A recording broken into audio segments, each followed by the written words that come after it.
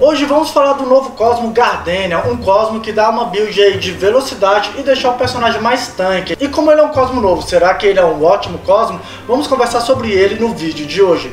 Bem-vindo Cavaleiros Amazonas, é mais um vídeo no canal do Ney de Sansei Awakening. Vamos dar uma conferida aí no que, que tem de bom nesse Gardenia e quem sabe inspirar vocês a fazer algumas builds e quem sabe vocês nos inspirarem também aí nos comentários. Então vamos lá para o crescimento, conferir como é os atributos do Cosmo. Como citado, Gardenia ele é um Cosmo voltado para Speed, né? Então nós temos atualmente quatro Cosmos voltados para Speed, ele dá 30 de bônus, tá certo? A mesma coisa que o Beija-Flor, né? Para atacantes cósmicos fica aí na frente do Cristal de Fogo para atacantes físico e fica 29 de speed a menos do que o Lua Nova, já que o Lua Nova não fecha aí por 3 de speed a mais, então vezes 3 dá 9 e mais 20 por fechar o 7. Então, atualmente o Lua Nova ainda continua sendo o melhor Cosmo para starter, ou seja, personagens que tem que atacar primeiro. Então, se o seu personagem precisa atacar primeiro que todos os personagens do oponente, Gardenia, por enquanto, nesse quesito, ficou atrás. Mas aí ele já veio aí obsoleto, esse Gardenia,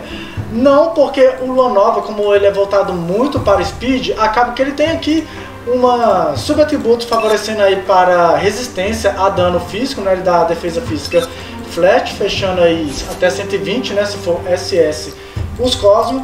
Porém, o Gardenia, ele deixa seu personagem muito, muito mais tanque dando aí PV, né, mais 1500, isso aqui na build SS, e também ele dá resistência a dano cósmico, então se o meta está voltado para dano cósmico, cano, mil, hearts, por exemplo, esse Cosmo vai ser excelente, né? Vai deixar seus personagens muito mais tanque. Só que aí, será que vale a pena aí deixar o personagem que ser starter, né? Atacar primeiro, para deixar ele muito mais tanque, principalmente contra atacantes cósmicos? Lembrando, que o Lua Nova ele dá defesa física, mas ele não dá PV, né? Então mesmo assim aqui a galera vai tancar um pouquinho mais, né? Vai ter uns 4.500 de PV bônus, fechando um 7 SS, né? Que aqui eu não tenho a versão S dele até o momento da gravação desse vídeo para conferir o tanto que é. Mas tá aí na tela um print caso eu tenha conseguido. Agora eu vou citar para vocês alguns exemplos de personagens que poderia ficar até interessante usar o Gardenia, né? São personagens que mesmo você buildando de lua nova,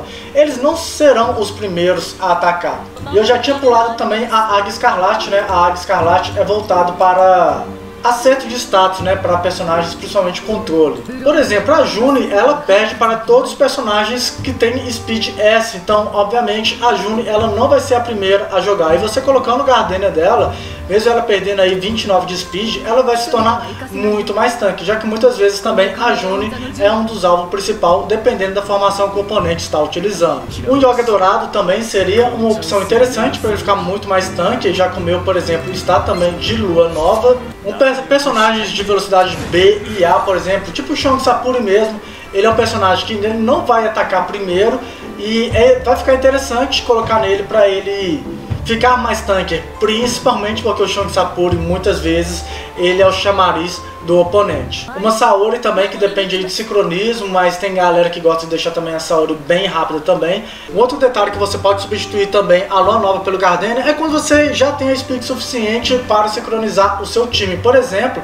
se minha Aten Atena tivesse 600 de speed aqui, eu poderia tirar 29 de speed dela, que ela ficaria na frente ainda do Shaka e ela ficaria ainda mais tanque, sendo que a minha tá de lua nova. Então, olha só como você pode fazer uma troca. É diferente a minha Atena ela ser a primeira a atacar, não. O importante é que ela gere energia para o próximo da feira, que no caso aqui é o Chakra. Ou se tiver uma pequena diferença em speed, você poderia também trocar né, a lua nova pela Gardenia. Por exemplo, se eu quisesse com o meu Kiki, que não é um bom exemplo, eu quero que o meu Kiki esteja atrás da Juni mesmo. Mas se fosse um outro personagem aqui que eu gostaria que atacasse na frente da Juni, por exemplo. Personagens lentos, como já citei também, que precisam de speed e não precisam de acerto de status, obviamente que aí a preferência é Águia Escarlate, GM e Sorento também é interessante utilizar esse Cosmo para a galera que quer cosmar eles de speed também. Ou um dragão marinho que é usado por lua nova, mas dependendo do sincronismo da speed, você não precisava de ter aquelas 29 de speed bônus da lua nova nele. Então tem várias estratégias aí que você tem que verificar se a Gardenia vai ser melhor do que o lua nova ou não. Normalmente o lua nova será um daqueles personagens que eu tenho que atacar primeiro que o oponente.